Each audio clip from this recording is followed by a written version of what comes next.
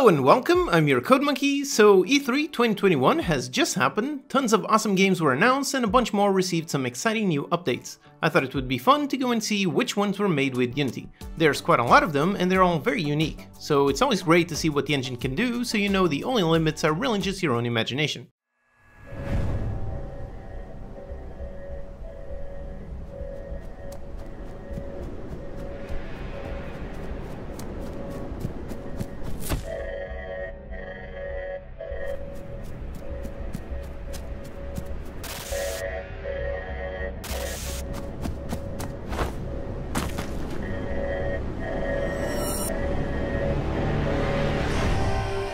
One of the more gorgeous looking ones is replaced. This was announced during the Xbox showcase.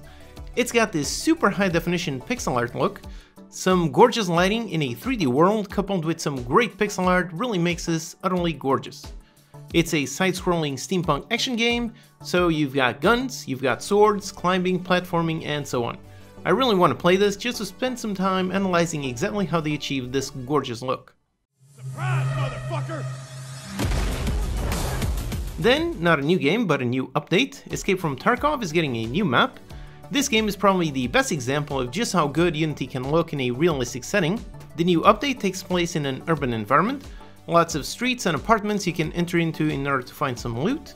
Looks gorgeous during the day, and then when the sun goes down, the flashlights and gunfire really light up the room. You've got tons of destruction, tactics, and high-powered firefights. This really is one of the best looking realistic Unity games.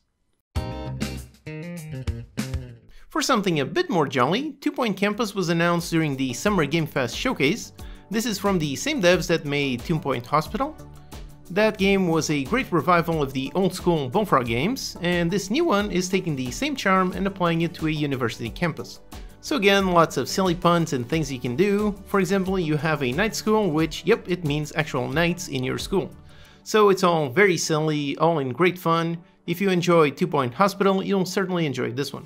Another one announced during the Xbox showcase, Somerville. This is from the new studio of one of the co-founders of Playdead. They're the ones who made Limbo and Inside, and you can definitely see the resemblance. You've got a very spooky world and a bunch of sci-fi aliens. This one appears to be more focused on having companions and a family, so a bit less lonely than those other two games. My constant thought while watching this trailer was just please don't hurt the dog, so let's see what happens with that one. Tag team, I'm in. Endless Dungeon got a new gameplay trailer. This is from a very accomplished studio that already made tons of excellent games, and all of them made with Unity.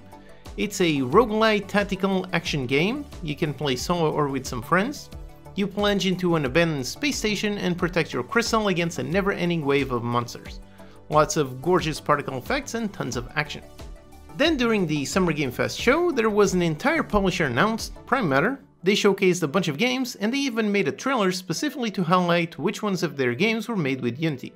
So they are Iron Harvest, a classic RTS game set in an alternate reality in the 1920s, tons of huge mechs and lots of units.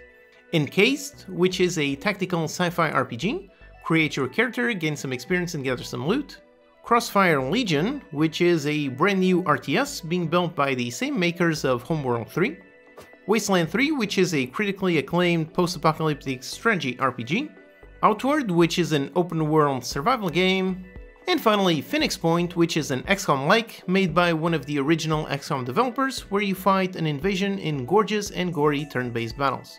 So a lot of variety made with Unity, all of it just from one publisher. Another announcement during the Xbox showcase was Slime Rancher 2. It's the sequel to the excellent original game, Continue the adventure in a new land brimming with ancient mysteries and bursting with brand new slimes for you to play with. I still haven't played the original, but I've heard nothing but great things about it, so more Slime Rancher sounds like great news. By the way, if you find the video helpful, please hit the like button, it's a tiny thing but it really does help, thanks. During the Devolver Showcase, we saw Wizard with a Gun, I love a good descriptive name. You play as a wizard and you have a gun. It's a multiplayer survival adventure game, seems to be in the vein of something like Don't Starve, Use your guns to destroy enemies, but also to build fortifications to keep you and your buddy safe. Features some great cartoony visuals with a nice mix of 2D and 3D. Another update is Naraka Bladepoint. They announced a new weapon, the Chainsaw, and it's having a full release later this August. It's a melee-based 60-player action battle royale. Lots of mobility, parkour, and grappling hooks, with a great cast of characters with powerful abilities. They've been doing public and private betas, which have been insanely successful, so I'm sure there's a lot of people looking forward to this full release. Welcome back to Shredageddon! Here's a new trick, let's go!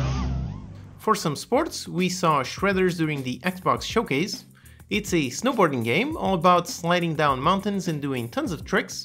The snow looks great as it gets deformed and the animations are all incredibly smooth, so if you're looking for a snowboard focused game, then this one is perfect for you. It's coming out on December 21.